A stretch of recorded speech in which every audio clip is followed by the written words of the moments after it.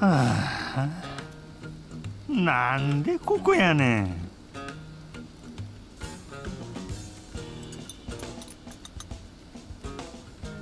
焼肉ならもっとええ店あるやん。か麻布とか六本木とかそれこそこの近辺にも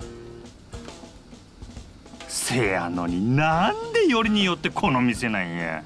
喋ってんとお前も食えシャバ最後の飯がカムロ町のそれも行きつけの店やなんてほんま惨めになってきたわ。なんで惨めになるんや。ほら早くあんと焦げてまうで。お姉ちゃんホルモン追加や。はい。はあ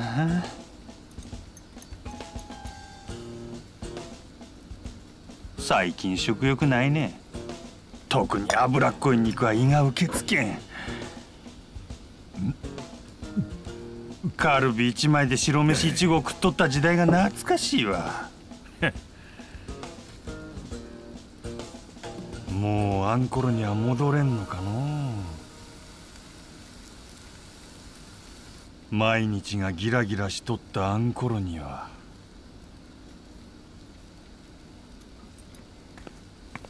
はいホルモンです。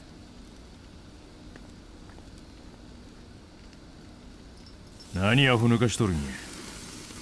ほら食えや。なんやこれ。丸焦げやないかい。そのホルモンと同じや。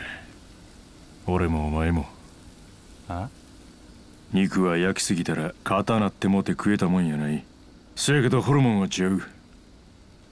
焼かれてこそ価値があるんや。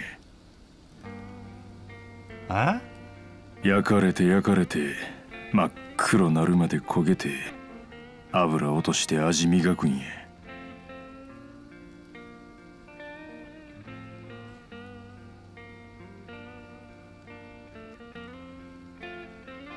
うんうまいならこれはどうや？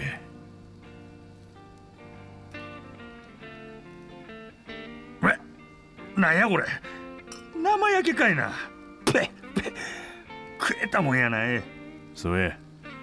生焼けのホルモンくらい食えへんもんはない。あ？もっと焼かれなあかんのや。俺らは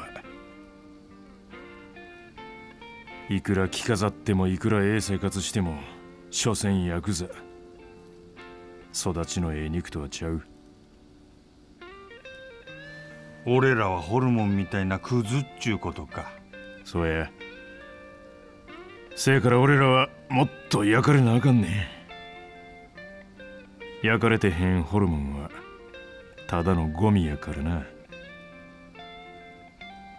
ゴミは焼かれて焦げて真っ黒なってそんで初めて意味がある。極道はそんな当たり前のことも忘れてしもた。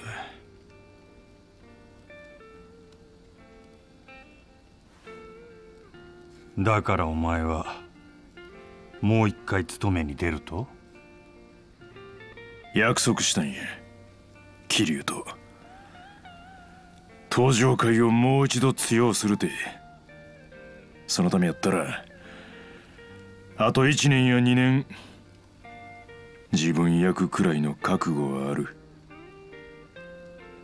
兄弟。俺が戻ってくるまでの間お前しっかり店守っとけや。あの若い料理長そばで支えたれ大悟ちゃんのことが。あいつはええ腕持っとる。せやけど今あいつの周りは生焼けの連中ばっかりや。確かにな。今の登場会は組員の数やったら過去最大の規模になっとるがその大半は戦争知らへん。肩着崩れの中途半端な連中ばっかりや今もし近江との戦争でもなってみ逃げ出すんが関の山やろなヤクザ気取って商売すんのもええ。せやけど金だけで生き残れるほど極道の世界はあまない。最後は力や。せやからそれまで俺らが支えるんや。それが俺らが今もここにおる理由やからな。せやな。よっしゃ。ほな俺も腹いっぱい食うとくか。あはよ食べんと燃えかすになってまうやろがいくらゴミ言うてもカスになってもうたら意味ないねんで。なくくそ人がせっかくやる気になったっちゅうのに。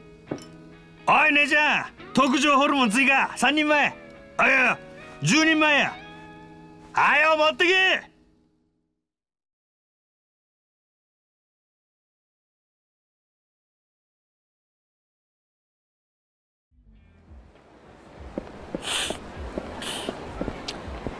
ああ食った食った。もうこれ以上入らんわでこれからどないすんねん夜にはお迎えが来よる。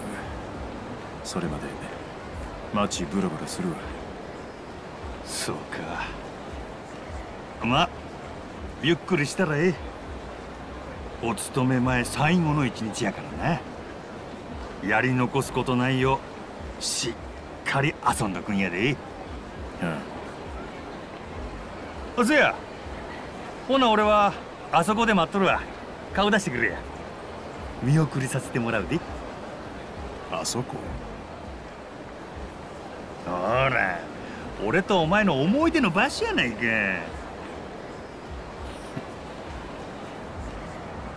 バッティングセンターのことか最後に一回くらい遊びに付き合うてくれてもええやんか。な？ああ。分かった